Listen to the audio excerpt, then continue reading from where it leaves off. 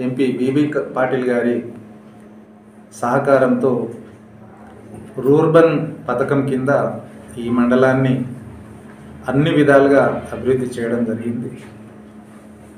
మండల తాజా మాజీ సర్పంచ్లకు ఎంపీటీసీలకు ఎంపీపీ మరియు బీఆర్ఎస్ పార్టీ నాయకులందరికీ కూడా మనస్ఫూర్తిగా ధన్యవాదాలు తెలియజేస్తా ఉన్నాను.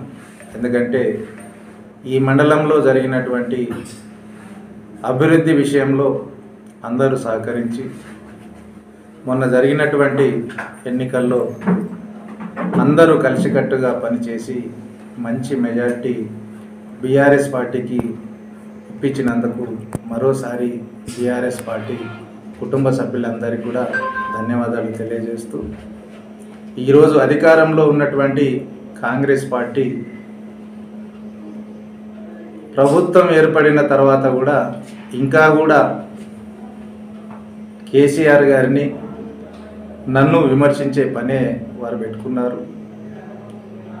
ఈరోజు గెలిచినటువంటి ఎమ్మెల్యే కావచ్చు ఏర్పాటైనటువంటి ప్రభుత్వం కావచ్చు ఈ మూడు నెలల కాలంలో మాయ మాటలు చెప్పి అధికారం ఏర్పడగానే ప్రభుత్వం ఏర్పడగానే డిసెంబర్ తొమ్మిది తారీఖు నాడు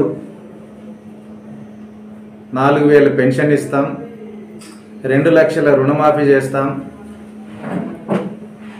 అదేవిధంగా ఆరు గ్యారంటీలు ఏదైతే అంటా ఉన్నారో ఆరు కాదు ఆరిట్లో పదమూడు గ్యారంటీలు ఉన్నాయి.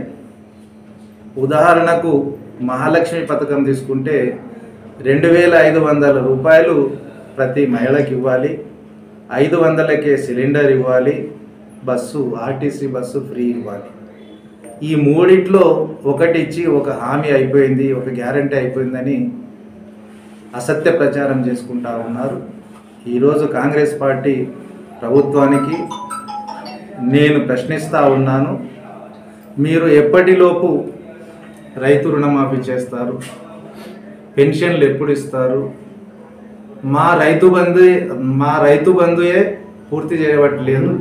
మీ రైతు భరోసా ఎప్పుడు ఇస్తారు? రెండో పంట రబీ సీజన్కు పంటలు ఈరోజు ఇంటికి వస్తూ ఉన్నాయి. ఇంకా కూడా మీరు లాగోడి పెట్టుబడి సాయం ఎప్పటి వరకు ఇస్తారు? మరి ఈ విధంగా ప్రజలను మభ్యపెట్టి అధికారంలోకి వచ్చినారు. ఇకనైనా గత ప్రభుత్వాన్ని గత ఎమ్మెల్యేలని విమర్శించే పనులు మానేసి మీరు ఏం చేయగలుగుతున్నారో ఏం చేయగలరో మేము మంజూరు చేసి కొబ్బరికాయ కొట్టినటువంటి పనులు కొనసాగిస్తారా? క్యాన్సల్ చేస్తారా? ప్రతి సంవత్సరం ఎన్ఆర్ఈజిఎస్ కింద మటీరియల్ కాంపోనెంట్ కింద మంజూరు చేసుకోగలిగేటటువంటి ఎన్ఆర్ఈజిఎస్ నిధుల కింద ఐదు లక్షలు పది లక్షల పనులకు మేము మంజూరు చేపించినామని గొప్పలు చెప్పుకుంటూ కొబ్బరికాయ కొడతా ఉన్నారు. అది కాదు ఈరోజు జుక్కల్ నియోజకవర్గంలో జుక్కల్ మండలంలో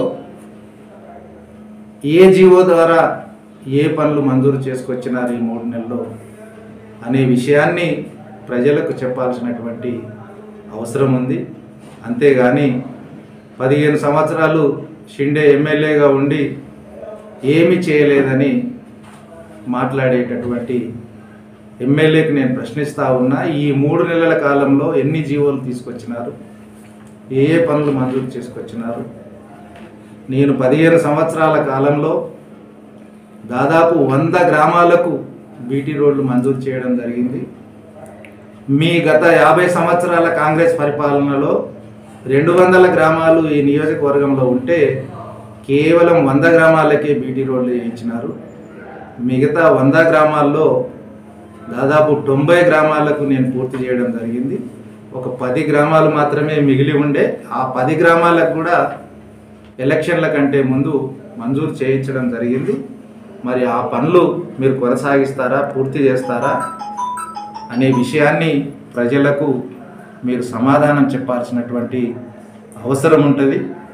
ఆ విధంగా ఇకనైనా మమ్మల్ని విమర్శించడం అనుకొని ప్రజలు మిమ్మల్ని గెలిపించడం జరిగింది.